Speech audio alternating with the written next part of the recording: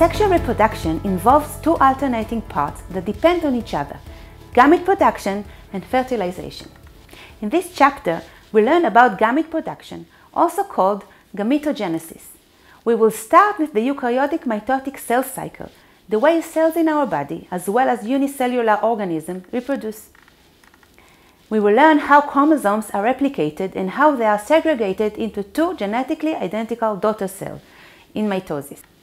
The mitotic cell cycle forms the foundation of meiosis, which lies at the heart of sexual reproduction, and that we will discuss in the second video. In meiosis, one diploid cell is divided by two consecutive divisions into four cells. These four cells are not only genetically different from each other, but also from any other cell.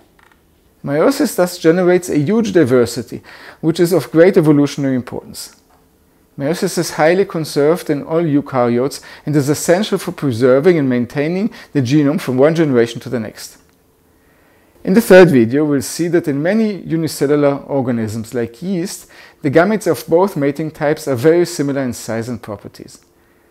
In animals and plants, in contrast, male and female gametes are profoundly different.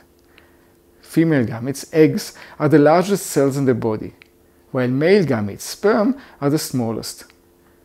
This difference is the source of most other differences between females and males, differences that we will discuss in depth in future chapters. So while meiosis is similar in female and male gametes, gametogenesis couldn't be more different.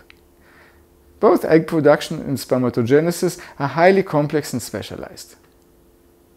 The fourth video will deal with the human female menstrual cycle, with its hormonal regulation, with ovulation, and with egg maturation. The fifth video will discuss the male gamete production.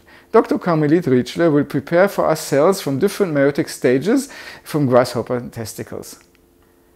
In some of the unicellular organisms like yeast, the gametes are very similar.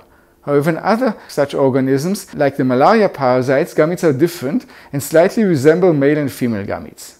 We will therefore conclude this chapter with a malaria parasite and tell you how we got sick with malaria in Africa and how this malaria parasite reproduces sexually.